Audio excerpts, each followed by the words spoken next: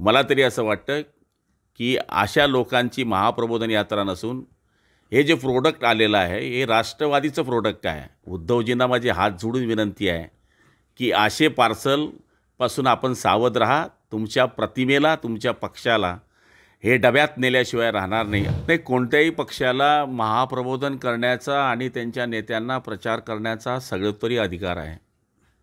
मला तरी असं वाटतं की महाप्रबोधनाच्या यात्रेमध्ये शिवसेनेच्या पक्षाच्या कार्यकर्त्यांनी पुढं काय करावं?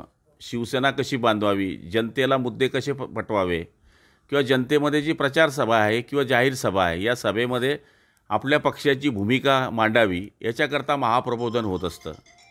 पण माझ्या माहितीप्रमाणे ही महाप्रबोधन यात्रा नसून जाती जातीमध्ये तेढ निर्माण करण्याच्या या सभा झाल्या. एकीकडे माझ्यासारख्याची जात काढली गेली माझ्या आईव आईवडिलांवर बोललं गेलं त्याचबरोबर मुख्यमंत्री हे मराठा समाजाचे येड्या डोक्याचे आहेत अशा पद्धतीच्या वाक्यप्रचार त्या ठिकाणी करण्यात आला. मला तरी असं वाटतं की त्यांनी आल्यानंतर मराठा समाज असेल इतर समाज असतील आमचा समाज असेल या समाजांवर त्यांनी टीका केली. बाळासाहेबांनी शिवसेना उभी केली ती समाजाच्या भरोशावर उभी केली नाही. बारा बलुचेदारांना मराठ्यांना सगळ्यांना घेऊन शिवसेना प्रमुखांनी शिवसेना उभी केली. मला तरी असं वाटतं की अशा लोकांची महाप्रबोधन यात्रा नसून हे जे प्रोडक्ट आलेलं आहे हे राष्ट्रवादीचं प्रोडक्ट आहे.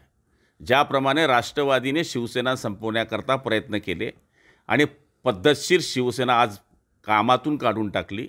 त्याचप्रमाणे उरलेली सुरलेली शिवसेनेचं डॅमेज करायचं.